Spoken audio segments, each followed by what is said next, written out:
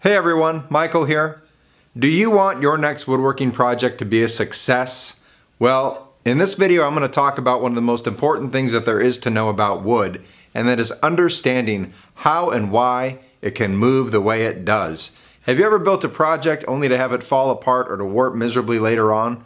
This video is going to help you understand why. So stay tuned, you're going to hear some things you might have never heard before. Now in order for us to get the best understanding of why wood does what it does, we're gonna go to some place you might not expect. Let's go there right now. Okay, so you might be asking yourself, where in the world are we going right now? Are we in the Amazon rainforest? What is happening? No, friends, this is just southern Indiana in the spring. Always wet, always growing. But what I'm doing is I'm walking in the backwoods here of my property and we're gonna stop so that I can show you something. Now anyone that's gonna give you a tutorial of good wood movement has to start here. And that's in the forest. Because after all, this is where all of our lumber comes from. Well, why am I showing you this? For one reason and one reason only. When you look through these woods, do you notice anything? Take a good look and see if you can find anything interesting. Directly behind me here is this silver maple tree. now, what I want you to see is that this tree is not straight at all. As a matter of fact, pretty much any tree that you're gonna find in the woods is not going to be perfectly straight. It just simply does not occur in nature. Although there are some trees that might get close to it, finding something that is perfectly straight is very difficult. Now the thing is, in good lumber, you want everything to be as perfectly straight as possible. And so this sort of presents a challenge to us, and I'll tell you why. Even behind me here, I have this large cherry tree, and as you can see, it's bent all over the place. The reason this presents a difficulty is because every tree has something called stress. And the more stress that you have in a log, the less quality lumber you're gonna have, and therefore the less potential ability for your project to turn out well in the long run because you're always going to be introducing that stress in the project regardless of how far along in the process you take this lumber. And so for most woodworkers, this is something that is totally out of their control because the lumber that they buy off the rack, they'd have a very difficult time knowing, was this tree even straight to begin with? Well, one of the places that we can go to to really start understanding why wood does what it does is in another unlikely place. And for that, I'm gonna take you back into the shop. Okay, what are we looking at here? Well, we have two pieces of firewood, that's what. On the left, we have a straight grained piece of hickory. On the right, we have a gnarly piece of hickory. Okay, why is this important? Well, first of all, like I was saying, there is stress involved in all wood. Wood gets stressed out, People are stressed out. We ought to be able to understand this. Obviously, the less stress we have, the more straight grained, therefore the less inclination for wood to warp. This piece here was cut out of uh, a crotch end of a log, and as you can see, when the wood decided to split, it did all kinds of crazy things. There's inclusions, crevices, there's highs and lows, and you can see that throughout the entire piece front to back. There's one of the knots that was including on the side there. And so something like this might be beautiful to our eyes, but it may not be the most stable. Now, let's go ahead and run both of these pieces through a joiner, and we'll see what they look like once they're cleaned up a little bit.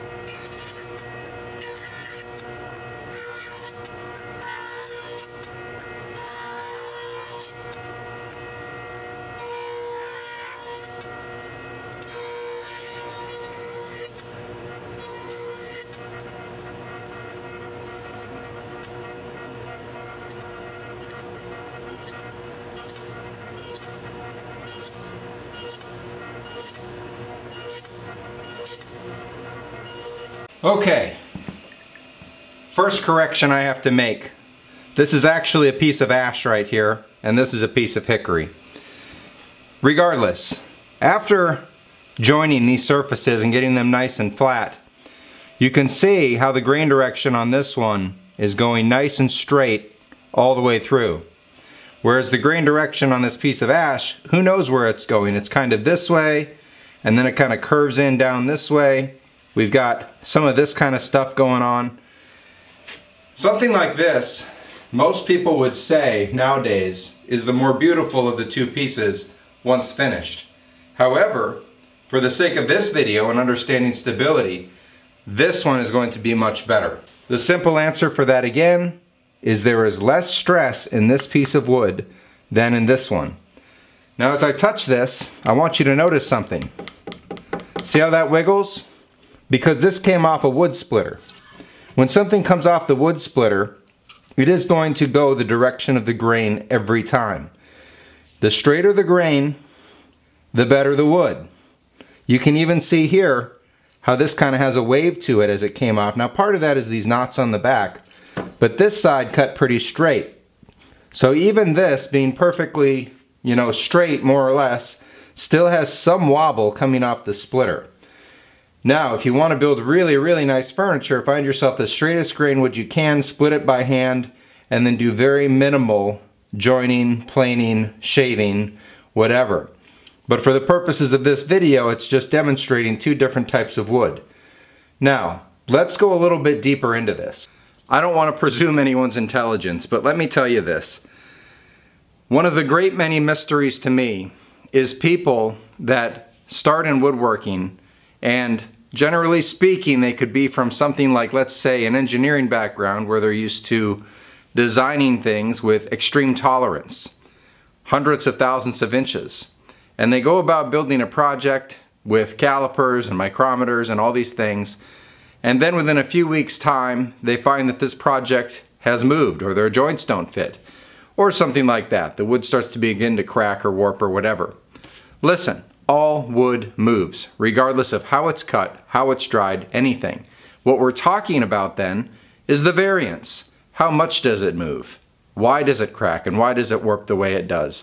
And to understand that, we need to understand grain direction. We already talked about the fact that when we go out in the woods, we'll see trees that are not perfectly straight. So, from the sawmill, when it's cut, we're usually cutting somewhere uh, not directional with the grain of the wood. So we're already dealing with some stress. Either it's very minor or it could be very major. Very major stress lumber usually does not make it to market because it's so warped and it's so bent that it's just not sellable.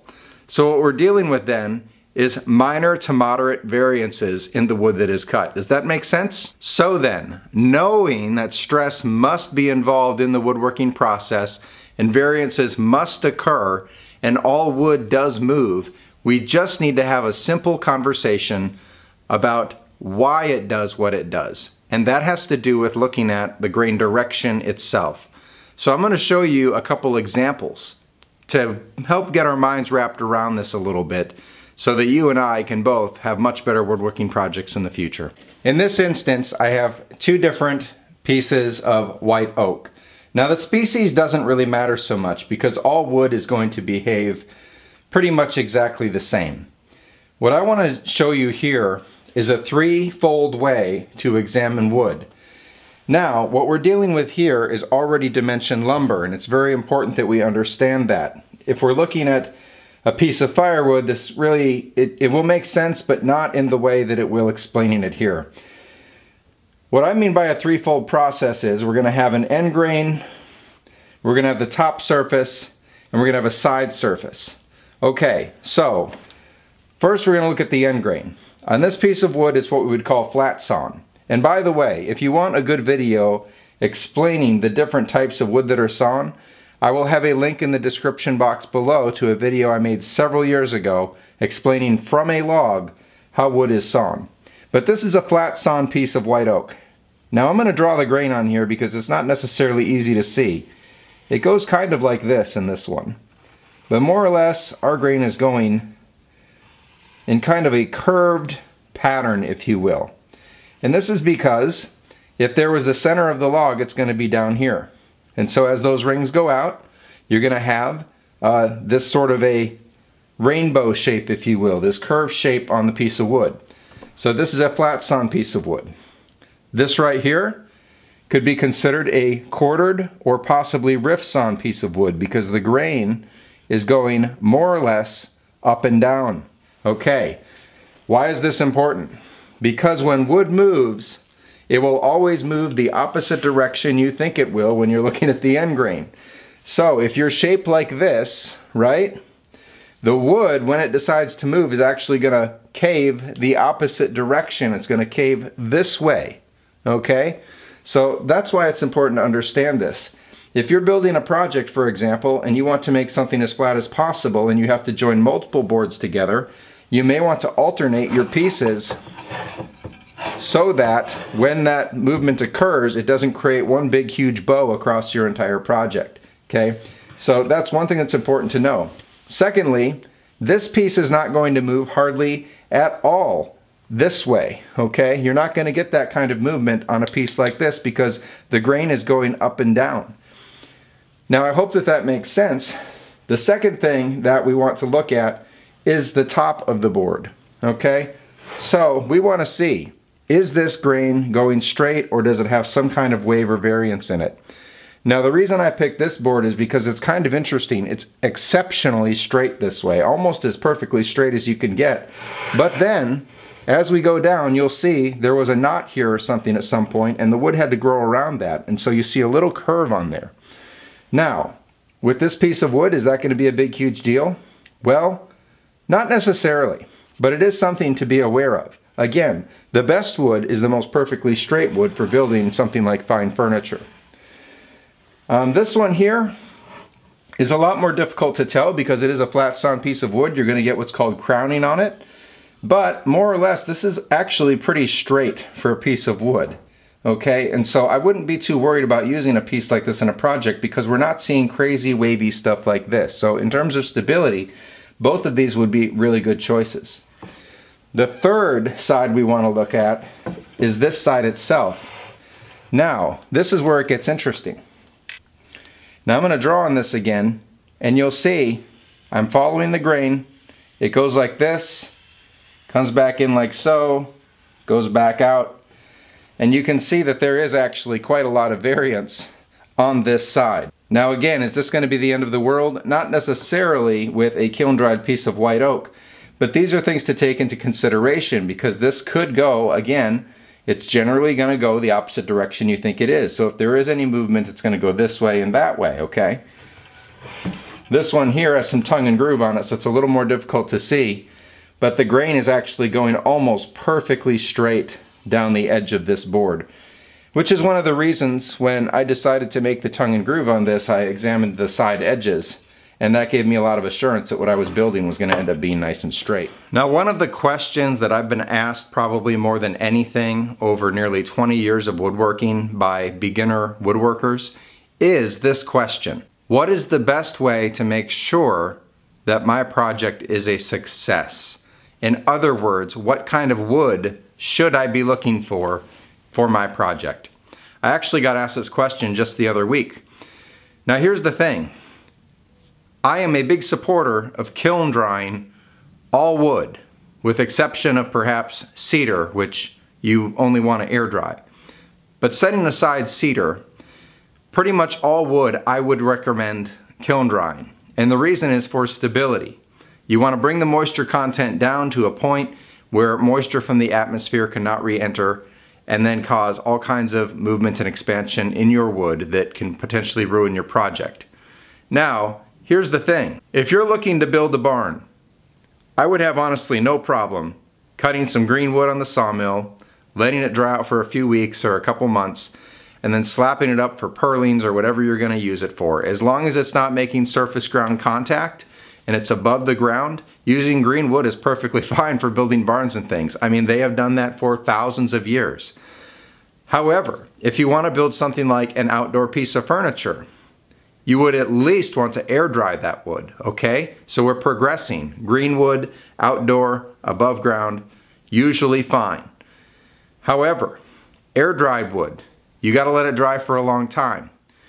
The golden standard has been about one year of air drying for every one inch of material. Okay, fair enough. So you can build something outdoor furniture like that because you're not gonna be so concerned Outdoor furniture is usually going to be built with screws and things like that, and so you're not so concerned about movement and whatnot. And generally, it's not going to, you know, be like a fine piece of furniture. Now, when you get into finer furniture, where joinery is really, really important and your joint everything has to be critical and close together, at that point, you definitely want to have kiln dried material without excuse, okay? So, what I recommend then is for the best projects, you want to have kiln dried material. So, let's go through this process and these steps again to see if we can sort of come to terms with how wood moves, why it moves, and what makes the best possible projects for what you're trying to work on. The first thing I would say is out of our control usually for woodworkers. And that is, we usually don't have control over the trees and the logs that are sawn. Unless you own a sawmill and you can cut your own material specifically and exactly how you want, we're kind of at the mercy of the lumberyard. However, what have we shown here today? Well, we've shown that when you're selecting lumber, you need to select it specifically for your project and the requirements that you need. There's plenty of flat sawn kiln dried wood that is perfect for dining tables and furniture and everything else. At the end of the day though, I would make sure that it's kiln dried and that your grain is relatively straight. You know, again, the more variance you have, the more you're gonna be fighting these things. So even some woods that are extremely beautiful with all of the figure in them and the weird grain patterns, in the long run can cause real headaches, especially if you're building something for a customer. But we need to go back to that golden rule. And what is that golden rule? All wood moves. And so when you build something, don't become too frustrated if it doesn't look exactly the same in a few weeks or a year from when you first made it. There are some woods that are more stable than others, and we can talk about that probably in another video. But it's safe to say that nice, dry, straight grain wood is always going to be your best bet in understanding and being able to control how much the wood actually moves. And again, why does wood move? Because of stress. If you understand stress, you understand wood movement. Now one last thing I will say about this, and this might just be a little bit of a tail end of the conversation. You're gonna be thinking to yourself, Michael, everything that you've told me is great, it's good information, but it kind of is the opposite of what we hear or see in a lot of the woodworking that's going on today. After all, uh, slab furniture has pretty much taken over the world in the last decade. I don't know how much longer. I know a guy that purchases uh, wrecked slab furniture. He's got a warehouse full of cracked epoxied furniture. But yes, slab furniture has all kinds of weird grain variations and patterns. It's cut off the pith of the tree or the center of that log in all kinds of strange ways. And in the long term, no matter how much you kiln dry it, no matter what you do to it, the more it is going to warp and bend and all of that leading ultimately to dissatisfied customers because most of these become dining room tables. At the end of the day, nobody wants to put their plates or bowls or cups on an uneven surface. And with most slab furniture, that's what ends up happening. And again, contrary to popular belief, it's actually the thicker the wood, the more that it's going to move and change and have variance in it. The thinner the wood is easier to, to keep flat in a kiln whereas the thicker the wood is going to do what it's going to do. And when I think about this, I think about the guy that kiln dries all my wood for me. I don't do my own kiln drying. And he's been doing kiln drying for like 30 years. And one thing he told me that always stuck in my mind, he said, wood is going to do what it's going to do. You cannot stop nature. And it doesn't matter how much weight you put on it, how much you strap it down in a kiln to try to keep it that way the thicker it is, the more it's gonna wanna move. And so that's one thing that's very important to understand. And there's a lot of reasons for that as well, but that could be another video. Now there's a lot of things that I could add to this video about why wood does what it does. The most important things, again, are it's the fact that all wood moves. This is a result of stress and it goes all the way back to nature from that tree growing out of the ground. Again, I have a video in the description below, a link there that you can go back and watch one of the videos I made several years ago explaining the different ways wood is cut and the advantages and disadvantages of wood being cut in certain ways. I hope this quick video has been helpful for you. If you enjoy the content, please go ahead and subscribe. It'd be a pleasure to have you here at the Southern Indiana Sawmill channel. And we look forward to catching you next time.